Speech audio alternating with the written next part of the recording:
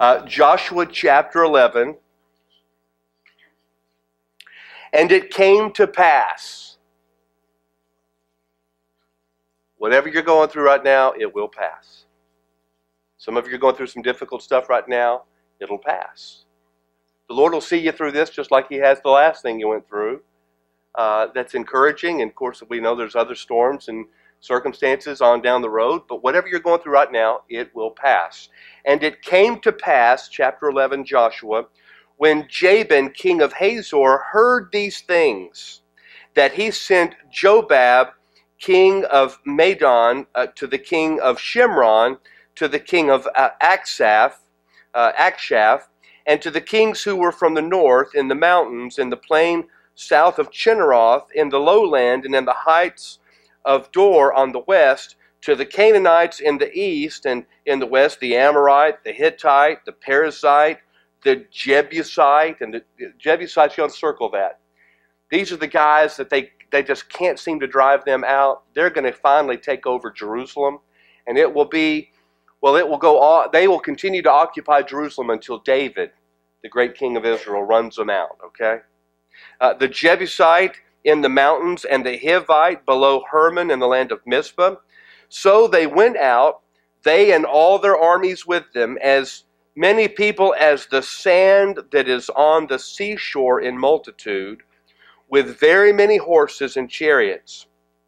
And when all these kings had met together, they came and camped together at the waters of Merom to fight against Israel.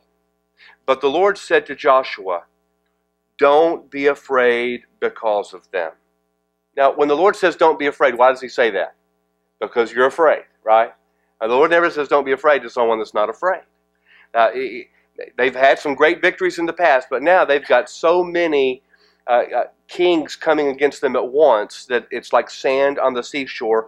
And the Lord says to Joshua, verse 6, Don't be afraid because of them. For tomorrow about this time I will deliver all of them slain before Israel. And you shall hamstring their horses and burn their chariots with fire. So Joshua and all the people of war with him came against them suddenly by the waters of Merom, and they attacked them. And the Lord delivered them into the hand of Israel, who defeated them and chased them to greater Sidon, to the brook of Misrephoth, and, and to the valley of Mizpah eastward. They attacked them until they left none of them remaining. So Joshua did to them as the Lord had told him. He hamstrung their horses and burned their chariots with fire. So, just a few details to pull out of this. News of Israel's triumph caused the kings of the north to confederate. The, you know, the last big uh, fight that, that, that we covered God had these hailstones that were like cinder blocks falling out of the sky, right? And just wiping out the enemies of Israel. And so everyone's hearing about this in the north, so they confederate, and God tells Joshua exactly what he wants him to do. Note that Joshua didn't argue with God. He didn't say, "Well, I don't, you know, do we have to hamstring the horses? I mean, you know, I, I you know, I love animals, Lord, and uh, uh, that seems like a cruel thing to do to the horses. And I mean, do we have to burn the chariots? I mean, uh, we could use those chariots. Those chariots would, would help us in war. He didn't argue with God. He didn't halfway obey what God told him to do. He completely obeyed the word of the Lord. God told him, and he did it. And what does it mean to hamstring the horses? Well, to cut a tendon in the leg that would disable the horse from running. And so it was actually kind of a merciful thing to do to the horse so they don't have to go into battle anymore and they can just kind of feed and, and uh, multiply and all of these types of things, but they're not used in combat or, or war anymore. And of course, the chariots, God said, burn them, and they burned them. And because Joshua obeyed, the Lord delivered. The Lord delivered. Look at verse 8. And the Lord delivered them. The Lord delivered them. And, and, and, guys, listen, the reason why we don't see God delivering us sometimes is because we just don't trust and obey. Now, say amen if you're listening today. If God tells us to do something, we just need to be obedient in it, right? And we have the tendency sometimes as Christians to say, well, I'm not going to obey God in this regard, but I'll do this. It's like a fair exchange kind of a thing. You know, I'm not going to do this that you told me to do, but I'll do this over here. And God says, Well, I didn't tell you anything about this over here. And this right doesn't cancel out that wrong. Whatever God tells us to do, we just need to do it, right? And when we obey God, we have positioned ourselves for Him to deliver us. And God delivering us is just another way of saying God blessing us, right? How many of you have felt blessed by God at one time or another in your Christian walk? Was it in a time when you were living in disobedience or obedience? Obedience, right? Why, why do we note that? Because God can't keep from blessing an obedient life, and He cannot bless a disobedient one. He can't bless a disobedient one. Last night, the men and I, as we were praying, we were praying about folks that we haven't seen at church in, in some time, and and you know, there are times when the church is like, well, what are we doing wrong, and how have we failed these people, and so forth. But you know, the, the way the discussion went last night, it was we knew of people that are not in church because they are living in sin. They've just got some sin in their life they're not ready to part with. They're not ready to put it away. They're not ready to give it all to God. And, and, and so it was like the, you know, they have enough fear of God. They don't want to go to a church when they're doing all this stuff that God's told them not to do or Uh, or whatever. And, and aren't we all that way to some extent? It's like, well, I've got this situation. I don't feel real good about it. I think I'll just skip church this week. And, and it, it's like an intuitive thing, isn't it? We know that when we're living in disobedience, God can't bless that. Well, Joshua completely obeyed the Lord, and the Lord delivered them, is what verse 8 says. Now, verse 10 Joshua turned back at that time and took Hazor and struck its king with the sword, for Hazor was formerly the head of all those kingdoms. This is the big shot of the north, right? And they struck all the people who were in it with the edge of the sword, utterly destroying them. And there was none left breathing. And then he burned Hazor with fire. That's like, well, let's, let's really make a show of this. Let's just scorch the city. So all the cities of those kings and all their uh, all their kings Joshua took and struck with the edge of the sword. He utterly destroyed them as Moses, the servant of the Lord, had commanded. But as for the cities that stood on their mounds, Israel burned none of them except Hazor only, which Joshua burned. And all the spoil of these cities and the livestock the children of Israel took as uh, booty for them. Say, everyone laugh. Ah, they took as spoils of war, if you will, all right, for themselves. But they struck every man with the edge of the sword until they had destroyed them, and they left none breathing. As the Lord had commanded Moses his servant, so Moses commanded Joshua, and so Joshua did. He left nothing undone of all that the Lord had commanded Moses. And so now we see in the, this text that it wasn't just obeying the Lord. This goes all the way back to Moses' leadership. It was like Moses said, Now listen, I'm about to, I can't go into the promised land, Joshua. The Lord's already told me I've got to die on this mountain up here, and you're about to take over. And let me tell you, when you go in there, clean house. You, you need a clean house. And this was Moses trying to make things easier on Joshua, giving him some clear leadership instruction. It was all obviously of the Lord, right?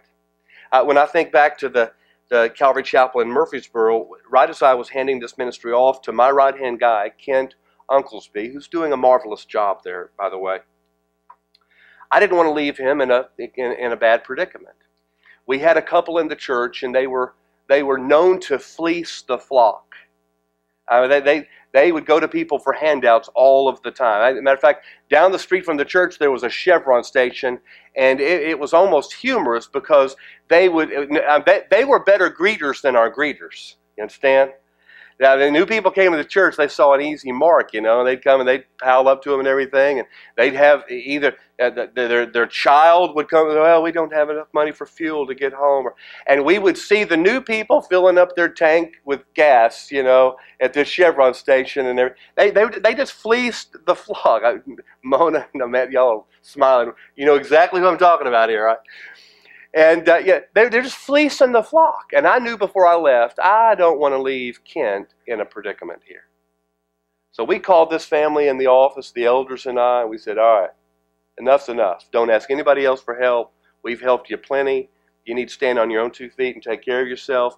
No more asking any. Don't share your sob story. Don't have your child share your sob story. Y'all need to get jobs, go to work, or you need to go somewhere else. If you won't behave, you just need to go. And boy, that sounded harsh. But, you know, after I left and came down here, I, I didn't have any concern about how I left Kent.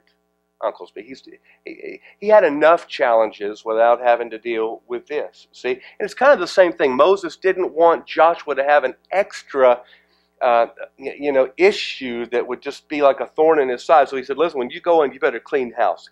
Get, get, get the trouble people out. That's, that's what Moses said to, uh, to, to Joshua. And then verses 16 through 20, boy, these are disturbing verses, I think, to some people.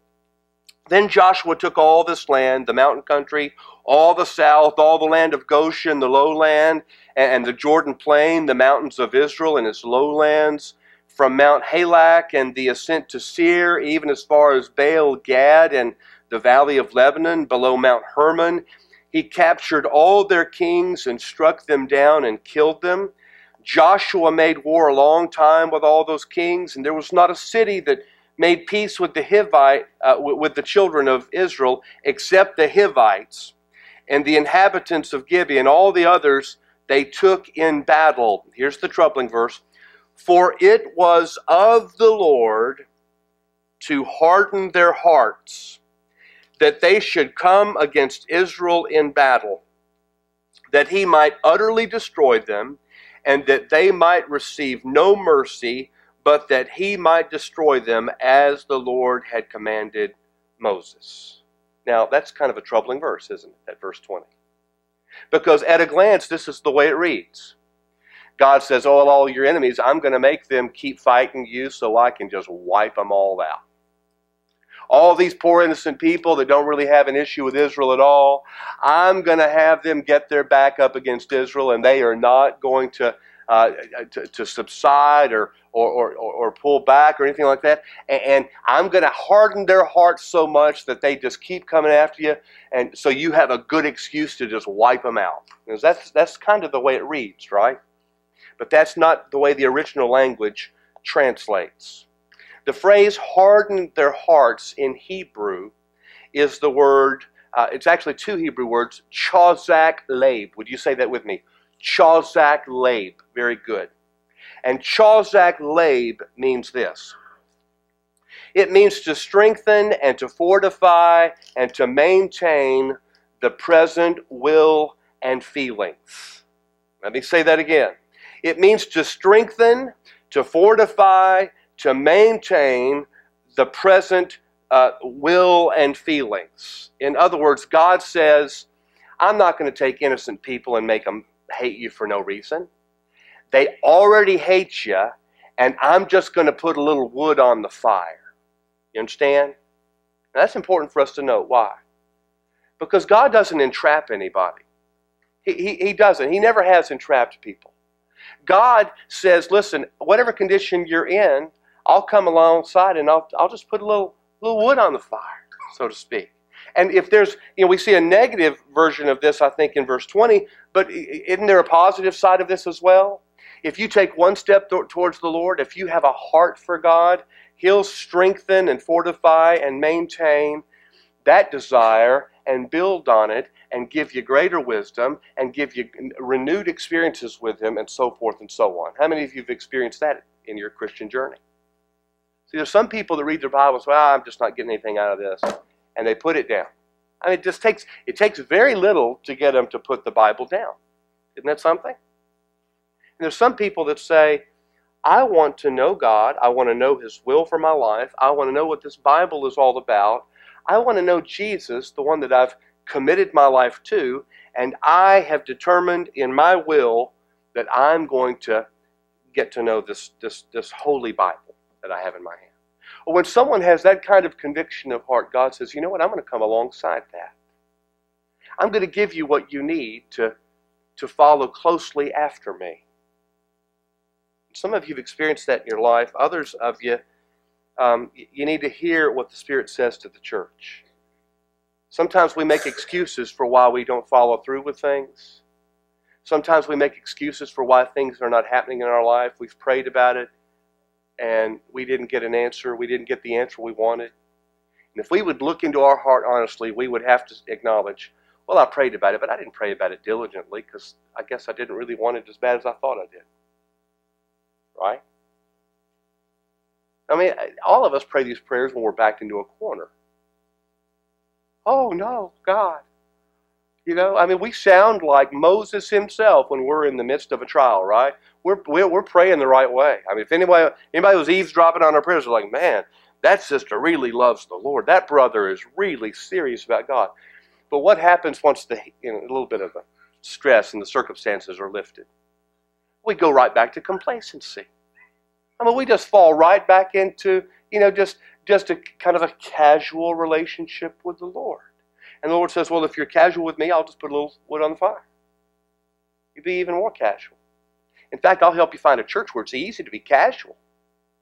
Where they just tell you something nice every week and they never step on your toes. They tell you it's okay to do this and live in this situation that you don't have to worry about that. And, and, and there are churches where people are just very casual in their walk with God, right? And they're surrounded by others of this sort, so they don't even really even think about it because everyone around them is very similar to that. Well, he hardened their hearts, he strengthened, he fortified, he maintained their will and their feelings. There's a verse that we just kind of slid past here, though, that I, I want to go back and pick up for emphasis. Verse 18 Joshua made war a long time with all those kings a long time. You see, we read a verse, we go, God, I don't understand why you won't do something for me. I mean, Joshua prayed, he put his trust in you, and 10 minutes later, you just delivered all these kings into his hand. And why haven't you answered me? It has been 43 minutes since I prayed this prayer, Lord. Why can't you turn this spouse around? I've been praying for Tammy for 27 years.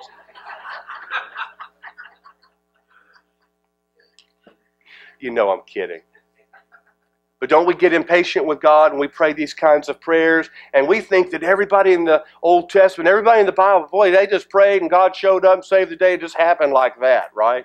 We just skim right over a verse. I mean, think of how long it took us to read that verse. Joshua made war a long time with all those kings. About five seconds to read the verse.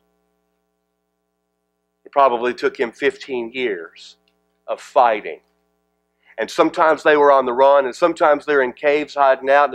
And Joshua is, of course, we don't have this recorded for us, right? But Joshua prayed the same kind of prayers that we pray. God, I'm doing everything that I think you want me to do, and it still doesn't seem to be working out, right? And say amen. You're doing what you know to be doing, and it still doesn't seem to be turning around. Well, the reason that's the case, guys, is because this Christian life that we're living uh, in the shadowlands earth, you know, it's, it's just a patient, long obedience, just doing the right things because God's word says it's the right things. And things don't turn around in, on an, in an instant. And the reason they don't is God wants to test our hearts. Are we really yielded to Him? Are we going to stick with it, you see? Well, verses 21 through 23.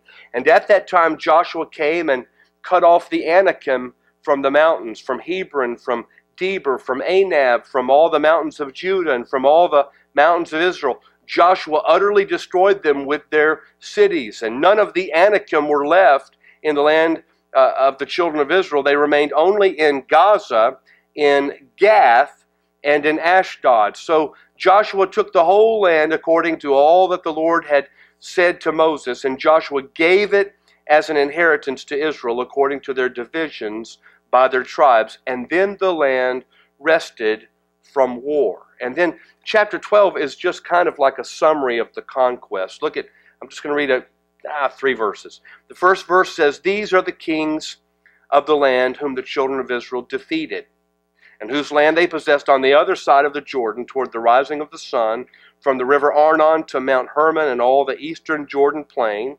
Uh, skip down to verse 4. Uh, the other uh, king was Og, king of Bashan, and his territory, who was of the remnant of the giants who dwelt in Ashtaroth and at, and at Edrei. And then finally, the last verse in this chapter, uh, the king of Tirzah, verse 24, 1, all the kings, 31. So we have a summary in chapter 12. There were 31 kings that they had to take on. And if that's not enough, what did we note in the, the last few verses of chapter 11 and, and uh, uh, King Og? We, we noticed that there were Anakim in the land. Did you see that? Back in chapter 11, verse 21 and 22, the Anakim were in the land. What were the Anakim? Well, I'm glad you asked that question. Turn back with me to Genesis chapter 3. Everyone say Genesis 3. Very good. That's how I know you're still with me. Genesis chapter 3. Why were there Nephilim? Why were there Anakim in the land? That's, that's a good question to ask because it's a recurring thing throughout the Old Testament. Genesis chapter 3, verse 15. This is after Adam and Eve have eaten the forbidden fruit. Adam blamed Eve, Eve blamed the serpent, and now God is about to give a, a punishment to the serpent in verse 15. Genesis 3:15, I will put enmity, that means bitter hostility in the Hebrew, between you and the woman, and between your seed and her seed. Notice seed is capitalized in the second instance. This is the first um, um, hint of the virgin birth because it's seed absent the seed of man. That's the way it translates in the Hebrew. He, that is the serpent, shall bruise your head, and you shall bruise his heel. He shall bruise your head. Excuse me, he is speaking of the seed of the woman. Uh, the, the Messiah shall crush you in the headship, and you, the serpent, shall bruise or bite at his heel. So, Genesis chapter 3, verse 15, we see now that the serpent knows that his defeat is coming through this woman. Knows that his defeat is coming through the woman. So, as Genesis, Genesis chapter 3 comes to a close, they're kicked out of the Garden of Eden back to the land, uh, back to the, the place, the ground from which they were taken. They weren't made from the dirt in Eden. That's that's altogether different kind of soil, right? That's in heaven now, we think. But Genesis chapter 4, they've been kicked out of the Garden of Eden. Um, uh, they were eavesdropping, listening to God speaking to the serpent, and they thought, no, wait a minute here. Through us is going to come somebody that's going to crush the serpent and get us back into the garden. That's what Adam and Eve and so Adam and Eve decided to have children. Uh, uh, now, Adam knew Eve, his wife. That's the word yada in Hebrew. It means to know intimately, physically, uh, uh emotionally, sexually, uh, so forth and so on, right? So he knew his wife, and she conceived and bore Cain and Abel, right? These two sons. And, and, and the, the serpent is like, wait a minute, one of those two sons is going to do me in. So Cain comes against Abel and kills him. And the serpent was smiling. Ah, stopped it. Stopped my demise from coming. And what the serpent couldn't see is that they were going to have a third son named Seth. And it was in his days that people began to call upon the name of the Lord. Then you fast forward several hundred years. Well, almost a thousand years into this earth project now. And the whole earth is overrun with these Nephilim types of things. Look at Genesis chapter 6. Now it came to pass when men began to multiply on the face of the earth, and daughters were born to them, that the sons of God, and that's an Old Testament reference to angels, in every place it shows up, that the sons of God saw the daughters of men, that they were beautiful, and they took that's that hebrew word means they forcefully took. They took wives for themselves of all whom they chose. And the lord said my spirit shall not strive with man forever for he is indeed flesh yet his days shall be 120 years.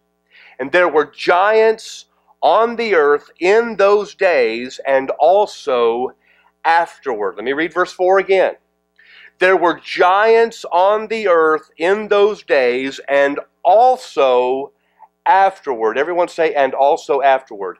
And also afterward. That means this is pre flood. Pre flood, angels were taking earth women, they were having children by them, and these half angelic, half human, well, we called them giants, right? But uh, the Bible calls them great ones in the Hebrew, Nephilim.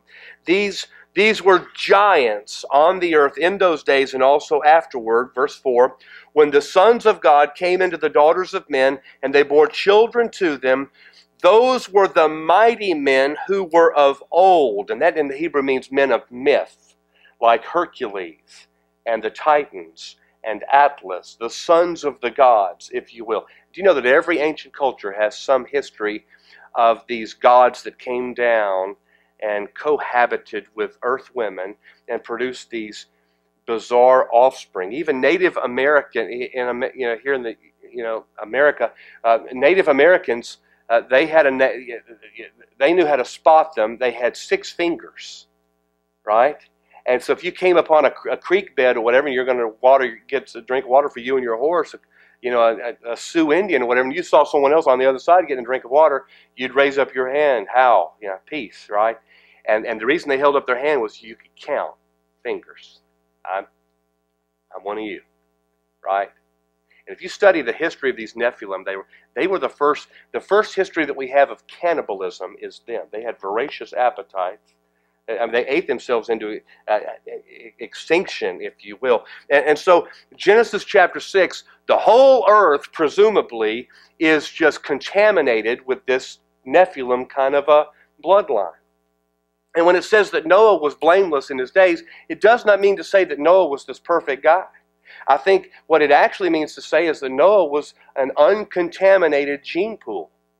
He was still just a just a, a flesh and blood human being, no angelic, nothing like that. And so God, because the, the enemy is trying to keep from his demise, you see. And so the enemy just, he's trying to contaminate the whole human race with this angelic human cohabiting and all of this.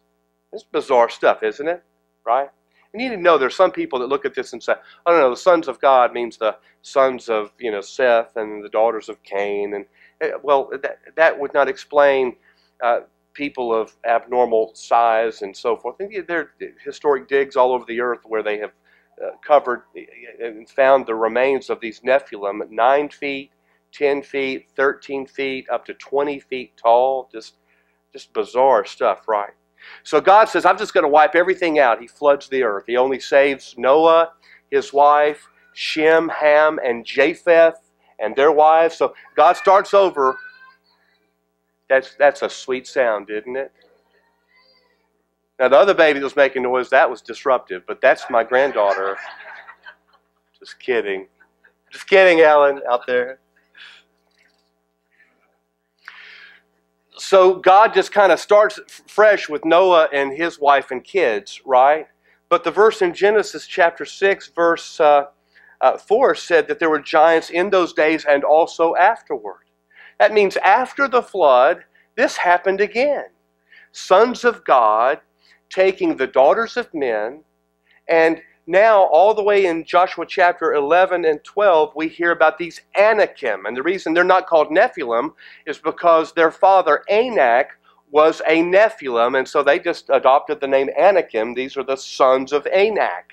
And they were giants. We read that Og was, was, was one of the giants in the land, a remnant of the giants. And we see in our passage that they drove them out of everywhere but about Ashdod and and uh, oh, what was the other one in Gaza? What was the name of the city in Gaza? Gath. Gath is a Philistine city, and guess who comes from the city of Gath later on in the Bible? Goliath. And he had four other brothers, right?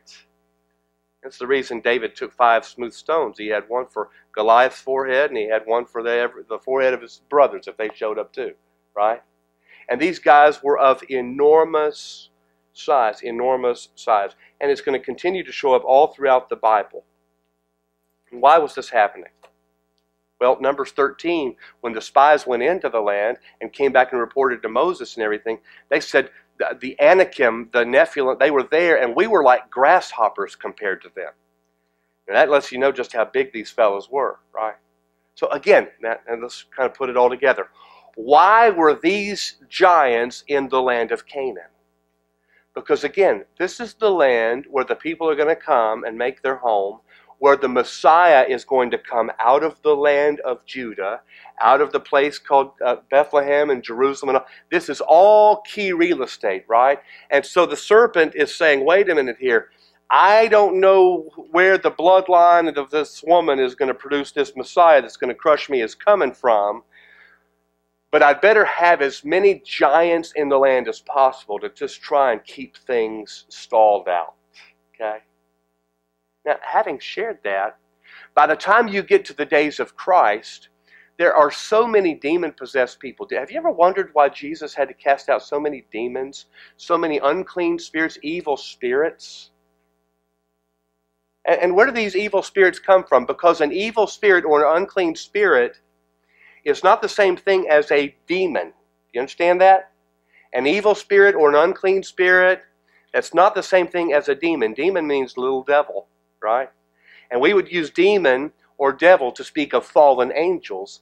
An unclean spirit, well, we believe that's the disembodied spirit of these Nephilim they're kind of stuck between heaven, hell and earth or whatever if, because they are half human and half angelic, the spirits of these things, right?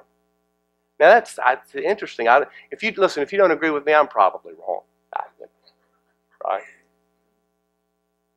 We've got these things in the land. Why? Because Satan knows that his his defeat is going to come through the seed of the woman, and the seed of the woman, they're going to get into this place called the land of Canaan. And the land of Canaan was just covered up in these Nephilim, these Anakim, these, uh, in another place they're called the Zamzummim, right? And isn't it interesting today, we hear all these crazy reports of extraterrestrials that take by force women. And all the, you know, as much as I can say, because it's children here, right? But uh, are extraterrestrials really taking captive earth women? Absolutely not. It is it's fallen angels masquerading as extraterrestrials, right? That's perhaps what is happening. And why are we seeing an escalation in reports like this? Because, back to Genesis 3, we know that the seed of the woman is going to be going head to head with the seed of the serpent. We covered it this last Wednesday night that this man we call Antichrist, this man that Revelation calls the beast, he is actually the offspring, he is a Nephilim. His father is the devil himself, the fallen angel we call Lucifer. And I hope you'll come this Wednesday night so you can hear more about all of these types of things. But let me just close things out by saying this God promised victory and we have at the end of chapter 12 31 instances of God's faithfulness over a long time. And when you get to the end of your life, Christian, you're going to look back on 31, 41, 101, 1001. You're going to look back on a multitude of victories in which God came through in the nick of time. I know it gets frustrating that He waits until the last moment, but He comes through. Amen? So, whatever you're going through today, get your eyes on Him. And don't look at the giant. The reason David was able to take Goliath out is because David was, had his eyes on the God of Israel. And compared to the God of Israel, well, this giant's nothing at all. Nothing. He didn't even have to go in with armor or swords or bows or spears. He just went in with a sling and some smooth stones he got out of a, out of a creek bed. Why? Because he who is with us is greater than he who is in the world. We're not on the run. And we may be working behind enemy lines because the days are getting short before all this culminates. But we're not uh, overpowered in any way, shape, or form. If God is with us, who can be against us? Let's pray. Lord, we love you.